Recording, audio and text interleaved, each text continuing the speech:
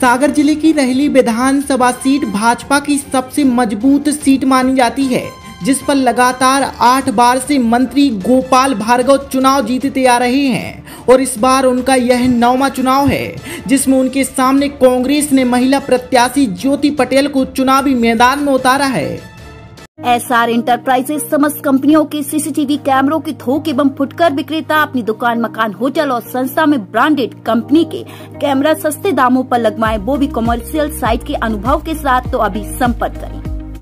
एक लंबी राजनीति में चुनाव जीतने के बाद विरोध के सुर भी मुखर होने लगते हैं। लेकिन हर बार सिर्फ़ जनता के सहारे चुनाव जीतने में माहिर। मध्य प्रदेश के सागर ज़िले की रहली विधानसभा के गोपाल भार्गव के सामने। इस बार क्या चुनौती है? उनके सामने ज्योति पटेल चुनाव लड़ रही हैं। जितना गोपाल भार्गव का सियासी सफ़र है, उतनी उनकी उम्र भी नहीं।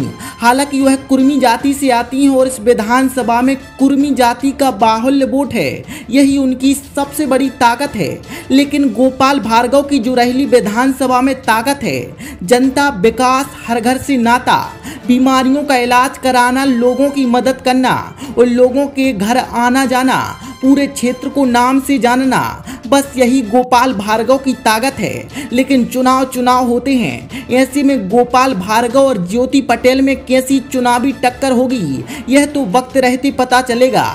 लेकिन ज्योति भी ताकत से चुनाव लड़ रही हैं और जैसे गोपाल भार्गव चुनाव लड़ते हैं, वह वैसे ही चुनाव लड़ रहे हैं।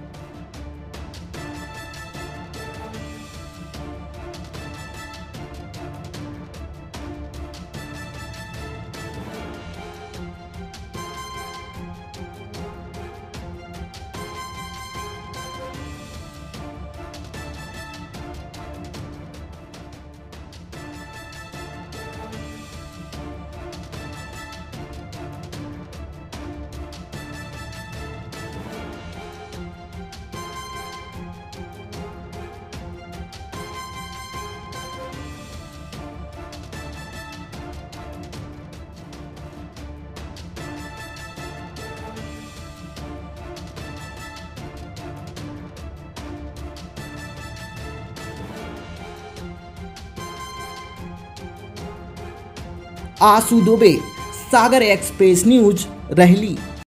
अब आपके शहर सागर में भी राजपूताना एम्पोरियम, जहाँ आपको मिलेगी राजस्थानी साड़ियाँ, लहंगा, सलवार सूट एवं राजपूती पोशाक की आकर्षक श्रृंखला। तो पता याद रखें, Cantt shopping mall, Adidas showroom के बाजू से सिविल लाइन सागर।